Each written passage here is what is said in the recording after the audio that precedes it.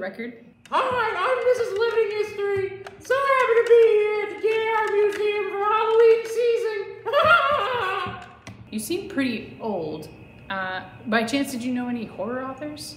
oh man, boy, boy, howdy have I.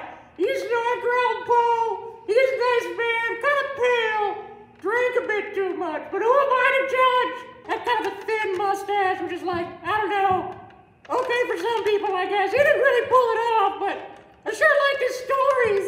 Shame about his wife. Not just that she died young, but also they married really young, so that made the neighbors uncomfortable. What are you gonna do?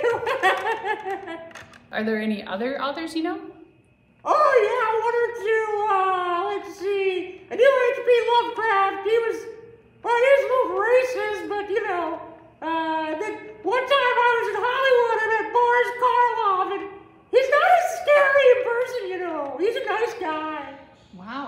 no idea. Yeah. What are your favorite horror stories? Oh man, horror stories used to give me goosebumps, but I don't have that problem anymore.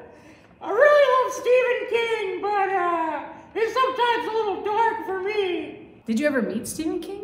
Oh yeah, he looks weird too. It's not just the stories. Oh man, I'm so excited. October 22nd, I'll be at the DAR Museum for Terror in the Parlor, the evolution of the American horror story.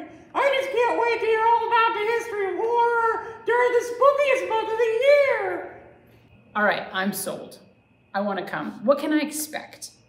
Well, when visitors get here on the 22nd, there'll be a spooky scavenger hunt where they can explore all the period rooms and see historic objects and classic horror literature from all throughout American history.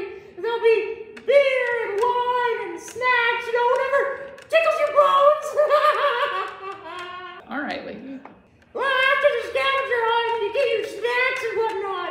Kevin Lucas, curator of education, is going to give a talk about how elements of horror literature have evolved from, from Dracula and Anne Rice to Twilight. Shucks, I love Twilight. Does that make me seem old?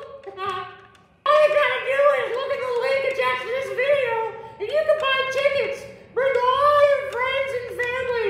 You can check on the ones in the graveyard. Lord knows I like to get away from the plot these days. Thanks. We hope to see you on October 22nd.